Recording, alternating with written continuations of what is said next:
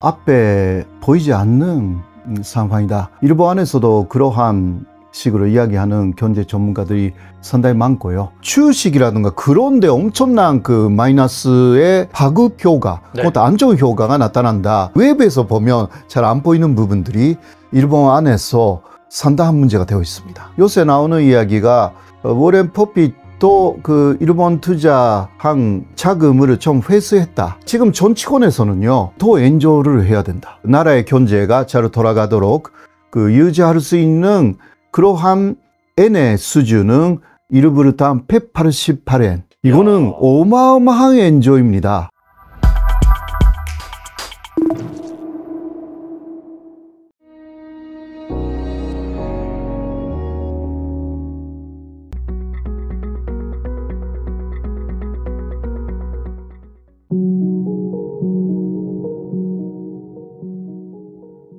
네, 호사카 유지 교수님 모셨습니다. 안녕하세요. 네, 안녕하십니까. 네, 교수님 모시고 또 여러분들이 관심 많아 하시는 일본 이슈에 대해서 하나하나 살펴볼 텐데, 네, 어, 최근에 일단 글로벌 시장 흐름을 보면은 미국에서 50bp나 big cut을 네. 단행을 했고요. 근데 일본 같은 경우에 정반대 stance로 좀 가고 예, 있는데 예. 지난번에 이제 0.25% 올린 다음에 이번에는 일단 금리를 좀 동결을 했습니다. 네, 이에 이제 엔화 강세 및 니케이 지수가 좀 괜찮은 흐름을 보였는데 일본 경제가 이제 부활하니까 좋아지니까 이제 금리를 올리는 것이 아니냐라는 시각이 있는 것 같아요. 근데 반대로 오히려 더 안 좋아지고 있다. 뭐 앞이 안 보인다. 그런 의견도 있고요. 교수님께서 어떻게 보시나요?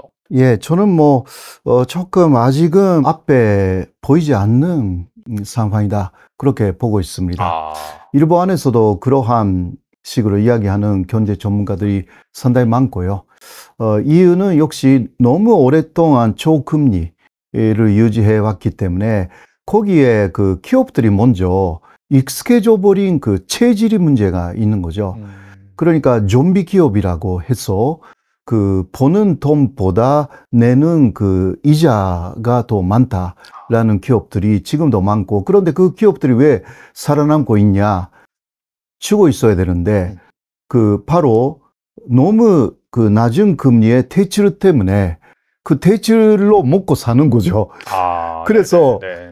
그 뭐라고 할까 굉장한 고통을 겪으면서 기업을 쇄신하지 않았습니다. 아, 이그 체질이 아주 큰 문제이고 음, 그러니까 금리를 올려야 되는 거죠.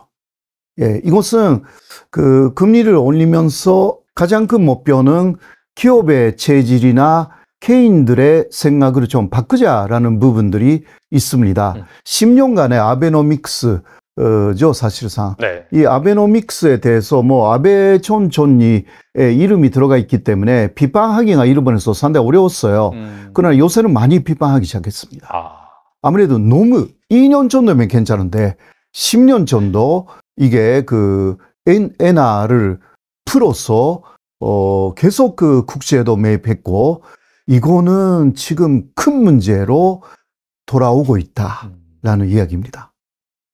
사실 뭐 지금에서야 이제 드디어 이제 금리를 올리고 있는 그런 상황인데 방금 말씀해 주신 것처럼 좀비 기업이 많잖아요. 네, 네. 그러면 당연히 금리를 올리면은 이자 부담이 엄청나게 커지는 거고 맞습니다. 이런 기업들이 이제 줄 파산할 수도 있는데 이런 건 어떻게 보세요? 그러면? 아, 그래서 사실상 그 장기 금리는 거의 자유화 시켰고요. 일본이. 네. 에, 그거는 3월이었죠. 네, 그 다음에 그 전체 금리를 7월 말에 0.25%로 올렸는데요. 이게 사실상 그 단기 금리에도 영향을 미치기 시작하는 거 아닙니까? 이것은 그, 어, 기업의 대출 금리라든가 또 개인들의 대출 금리, 특히 그 일본 사람들은 모기지론으로 어, 주택을 구입하는 경우가 대부분이기 때문에 네, 네. 에, 거기에 영향을 굉장히 많이 미칩니다. 음, 아직은 그게 어떻게 나타나는지는 어, 조금 지켜봐야 하는 부분이지만 상당히 우려스럽다라고 다 하고 있습니다. 이야기를 하고 있습니다. 그리고 향후 BOJ는 계속해서 이제 금리를 인상을 할까요? 자산 시장에 또 제2의 블랙 먼데이가 발생하지 않을지 어떻게 보세요? 당시 이, 7월 말에 0.25%로 올렸을 때도 일본에서는 그거는 surprise였어요. 아, 예. 에, 여러 가지 그 경제적인 지표가 어, 아주 좋다라기보다 그 조금 뭐라 그럴까 내려가는 상황에서 더 올렸기 때문에 그래서 그 어, 예상하지 못했다라는 그 일본 금융 시장에서는 음. 그러니까 갑자기 그 주식이 내려갔습니다. 맞아요, 맞아요. 예. 예, 그래서 일본은행 안에서도 이견이 좀 나와가지고 그래서 우치다라는 부촌제가 앞으로 그런 식으로 그 경제에 부담을 주는 인상하지 않겠다. 음. 이게 아주 이례적인 말을 한 것입니다. 아, 에, 그래서 그 다음에 지금 그 일본에서 나와 있는 이야기가 우에다 촌제하고 우치다 부촌제 사이에서 위견 대립이 있다.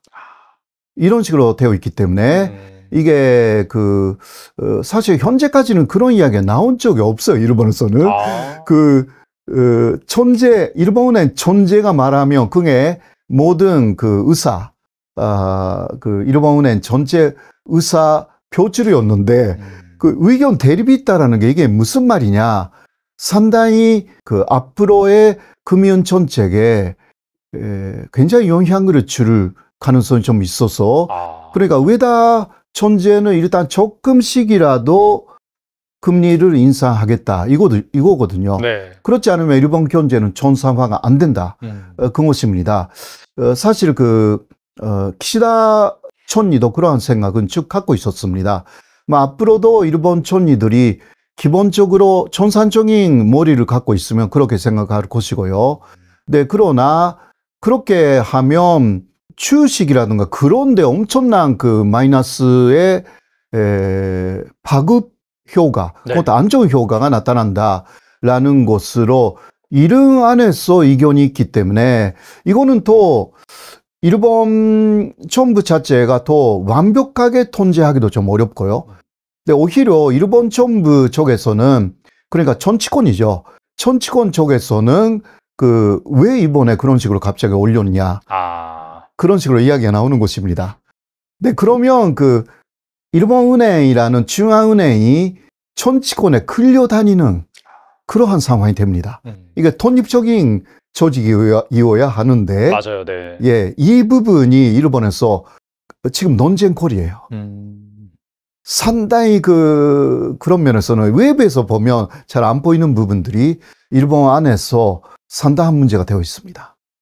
확실히 지금 그 통화 정책에 대한 방향성이 좀 불분명해졌다. 그렇게 이제 볼 맞습니다. 수가 있겠네요. 네, 어. 또 여기서 또 계속해서 금리를 올리게 되면은 또 다시 이 주식 시장이 발작할 가능성이 있는데 네, 뭐 이런 부분이 불확실해지다 보니까 사실 일본에 투자했던 워렌 버핏 같은 경우에도 약간 불안불안할 수도 있겠네요, 진짜. 예, 그래서 요새 나오는 이야기가 어, 워렌 퍼핏도 그 일본 투자한 그 어, 자금을 좀 회수했다. 어, 다는 아니지만 네네. 많이 회수했다라는 그 뉴스가 좀 나옵니다. 음. 그러니까 워렌 파핏은 무엇을 보고 일본의 주식을 그러니까 의량 기업은 있지 않습니까? 사실 그것을 샀는데 그것도 갑자기 엄청나게 그 폭락을 했고 네. 뭐 네, 그러나 그거는 두 번 폭락을 했어요. 어, 예. 근데 그 다음에 지금은 원래 수준의 그 10% 이상 90%. 네. 예, 다시 회복되기는 했습니다.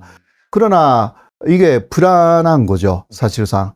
그러니까 지금 정치권에서는요, 아니, 더 엔저를 해야 된다. 어, 예. 왜냐하면, 그, 어, 지금 일본 엔이, 에, 탈라로 말하면요, 어, 이르브를, 이르브르 다음 188엔이 오르다. 이런 식으로 말하는 아, 그 사람들이. 정도가 돼야지 예, 예. 그게 합리적인 이게 유지가 수준이다. 된다. 오. 네, 그러니까 일본 경제가 옛날에처럼 뭔가 그 이르브르탕 폐겐 이런 시대는 절대 아니다. 그러니까 일본 경제라든가 일본의 그 수출 어. 이것을 그 어, 유지하기 위해서 그 어, 나라의 경제가 잘 돌아가도록 그 유지할 수 있는 그러한 엔의 수준은 이르브르탕 188엔.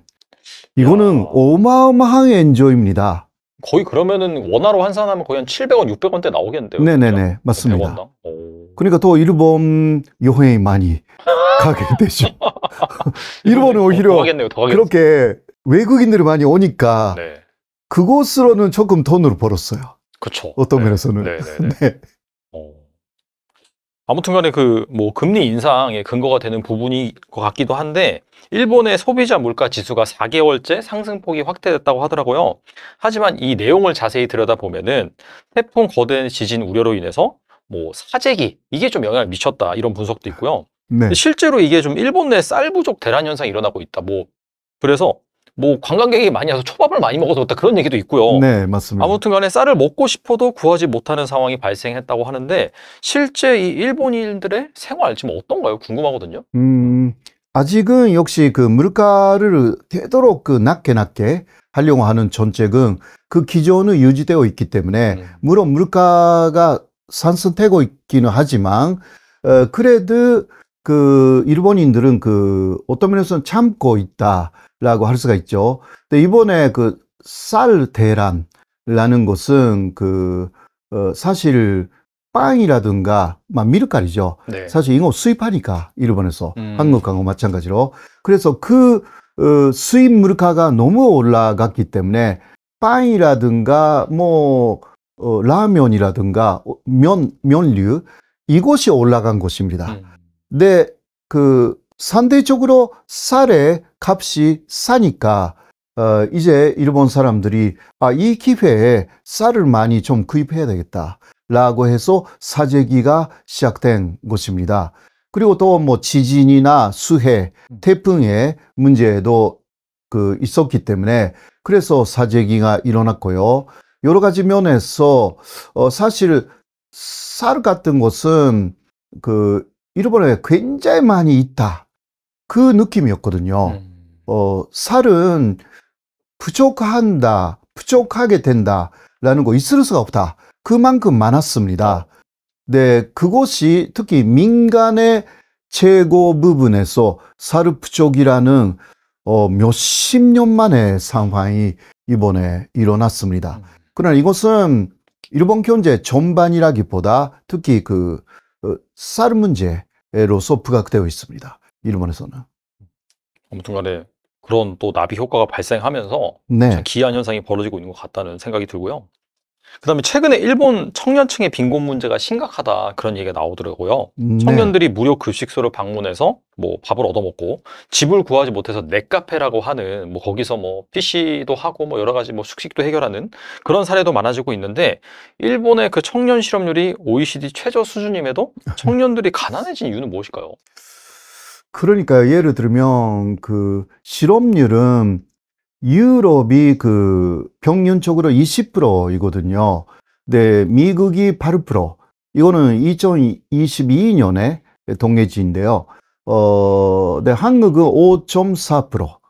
그런데 일본은 그것보다 좀 낮아요. 4.5%. 어. 이거는 완전 고용 수준이다. 이런 식으로 이야기를 하는데 왜 그렇게 가난하냐? 그 전년들이 이, 네, 그 이유는 여러 가지가 있습니다만은 아무래도 그 월급이 적다라는 거죠. 임금이 안 오르니까. 예, 네, 임금이 네. 임금이 정말 한참 올라가지 않아 가지고 어 지금도 그 괜찮은 기업에서도 초봉이 23만 엔 정도 아, 그러니까 210만 원 정도가 음. 되겠죠. 어, 그거는 제가 그러니까 40년 전에 그뭐 그 조금 전이지만 어 입사했을 때하고 똑같대요. 그때 22만 엔이었거든요. 와. 40년 조금 전에. 어, 그런데 그때하고 차이가 없어요, 지금. 아, 이게 그 아무리 그 일본 물가가 그 안정되어 있다 하더라도요. 일본 엔의 가치는 1995년에 재고지였어요. 그때 지금 뭐 60% 정도밖에 안 됩니다. 음. 엔의 가치 자체가 네. 어, 50% 60% 사이에 있는데 그러면 그만큼 그 받는 돈도 두 배가 되어야 되는 거죠. 그렇죠. 맞아요. 네. 네. 그러면 그 N의 가치가 떨어져도 일단 그때 20만 원 받았다. 그러면 지금은 적어도 40만 원 받아야 되는 거예요. 음, 초봉으로서. 그런데 그냥 20만 원 되니까 이거는 가난해질 수밖에 없습니다. 그래도 그렇게 그 싸게 에, 그 임금으로 주는 그런 데가 많습니다. 그래서 이것은 그 구인배율이라고 합니다. 어, 그, 어, 유효 구인배율이라고 해서 어 그거는 회사가 사람을 구하고 있는데 에, 거기에 에, 대해서 그 구직을 하는 사람의 숫자로 구인하고 있는 숫자를 이게 나누는 거거든요. 음. 네, 그러면 그 일본은 1.5를 넘습니다. 아, 네. 한국은 그러니까 어, 그 구인하는 회사가 굉장히 많다는 이야기죠. 아, 네. 네네 그런 것입니다. 어, 어. 예, 한 사람 그 구직을 하고 있는데 에, 일본 전체를 보면 그 1.1명에서 2명 정도 음, 회사는 필요로 하고 있다. 어. 그러니까 취업하기 쉬운 환경입니다. 일본은. 아, 되게 아이러니하네요. 그렇죠. 네. 근데 한국은 그게 0.68이에요. 네, 일본은 올해는 그게 1.7이 돼가지고요. 내년이 아. 되면 1.75가 된대요. 그러니까 계속 그, 그러니까 일본은 야. 사람이 없다. 어. 어, 그, 뭐라 그럴까, 인재 부족. 그 현상이 많은데, 그것도요, 들여다보면 힘든 일에 그게 구직은 아니에요. 그러니까 아. 한국에서 말하면 그 3D, 업종. 네. 예, 업종. 음. 예를 들면 콘솔업이라든가, 음. 혹은 기타 여러 가지 그 몸으로, 몸으로 태우고, 어, 몸으로 그 해야 되는 일들이 어, 굉장히 그 사람들이 안 가요. 음. 그러니까 사무직이라든가 조금 그 편한 일이 있잖아요. 거기는 어, 일을 넘지 못합니다. 사실 아, 네. 0.7이나 네. 음. 그렇게 일본도 그 경쟁력이 좀 센 거죠. 어, 그런 면에서는 힘든 일에 많이 오라고 하는데 어, 그러면 월급으로 많이 줘야잖아요. 그렇죠. 네. 그런데 안 그러니까 어. 그 이게 전체적으로 문제가 되는 것입니다. 그러니까 월급을 사실 상식적으로 생각하면은 사람이 부족하니까 근데 사람이 안 모이니까 월급을 좀 올려주면 될 것 같긴 한데 그 기업들 입장에서는 또 월급을 올려줄 만한 상황이 안 되는 건가요? 그러면? 그것은요, 뭐, 역사적으로 보면, 그, IMF 같은 게 일본에서도 있었어요. 아, 물론 IMF, 한국 IMF에 들어갔지만, 네. 일본은 그, 4개 정도의 금융기관이 망했습니다. 1997년. 그거 네. 똑같대요. 네. 네, 그러나, 어, 그때 한국은 계속 전리해고 하기 시작했잖아요. 네, 이제 완전히 미, 미국이나 그러한 IMF 따라서 움직였습니다. 그러나 일본은 그러한 고통을 그 경험하는 거 다 싫어했죠. 아, 그렇기 때문에 합의를 한 것입니다. 노조가 사실 그 회사하고 합의를 한 데가 굉장히 많습니다. 음, 그때 합의는 바로 어 전리해고를 하지 말아 달라. 대신 조임금도 괜찮다. 여기에 합의를 한 것입니다. 그래서 계속 조임금이에요. 그렇기 때문에 사람들이 많죠. 사람들이 많고 조임금. 그리고 뭐 IT에 IT화에 실패했다. 그러니까 사람은 많아야 됩니다. IT가 안 되니까. 그러니까 회사로서는 임금을 올리려고 해도 이렇게 많은 숫자니까 존예해고 해야 되는데 그거는 합의로 거의 안 하기로 했다. 그래서 딜레마에 음. 빠져 있는 것입니다. 그 일본인들은 보통 회사원들도 그렇지만 그 사용하는 쪽에서도 딜레마에 빠져 있는 상황. 이게 일본의 현재 상황입니다. 확실히 구조 조정을 확 하고 다시 그 경제나 그 기업이나 그런 조직이 살아나면서 이제 새로운 그런 또 성장 동력을 얻을 수가 있는데 이제 그 구조 조정을 하는 게 무서워서 예. 고통스러우니까 그걸 뭉개고 가다 보니까 이게 고착화됐다라고 볼 수가 예, 있겠네요. 탄시는요, 오히려, 어, 탄시 세계 시소는 한국도 그랬어요. 음, 어, 한국은 IMF의 고통이 심했잖아요. 네. 그러니까 일본은 잘하고 있었, 있다. 음. 이거였거든요. 일본은 전해고 하지 않고 혹시 해고할 경우도 다음 취업처를 찾아준다. 라든가 그러한 아, 뉴스가 많이 나왔어요. 네네. 네. 그러나 그때는 좋아 보였지만 오랫동안 이렇게 에, 와보니 음, 이게 그 어, 세계에서 굉장히 그 뭐라 그럴까 부진적인 구조가 돼버렸어요 일본이. 그러니까 앞으로도 임금이 오르긴 쉽지 않겠네요. 말씀 들어보니까 이게 해결이 돼야 되는데. 예. 음. 그래서 기시다 촌리가 투자를 해라. 뭐 그런 식으로 이야기를 해가지고 네, 일본 사람들은 기본적으로 저축 문화잖아요. 그렇죠. 네. 저축을 좋아했는데 그것을 그 투자로 음, 돌리라. 네. 그래야만이 일본도 발전하고 음. 여러분들도 어, 좀 돈이 생기는 거 아니냐 이런 식으로 해서 과세를 하지 않는 비과세 의 투자 상품을 그 정부 주도로 만들기로 만들기도 했어요. 어, 어, NISA라는 네. 곳인데요. 네, 에, 그런데 에, 많이 투자를 하기 시작했거든요. 네, 일본인들이. 네. 어, 그런데 그거 하기 시작해가지고 몇 달 안 됐는데 폰낙 사태가 왔어요. 아, 블랙몬데이 그때. 예, 예, 네, 네. 예. 그래서 일본인들이 무엇을 믿어도 되는지 모르는 상황, 현재. 아, 가뜩이나 사실 일본 사람들 성향이 막 누굴 믿고 막 그런 스타일은 아니잖아요. 그, 예, 맞습니다. 아, 근데 이제 완전히 뒤통수 맞았다는 그런 네, 생각 때문에 네. 앞으로는 투자가 더 힘들어질 수도 있겠네요. 예. 왜냐면 사실 그 올해 2월 말쯤에는 사상 최고치를 갱신했지 않습니까?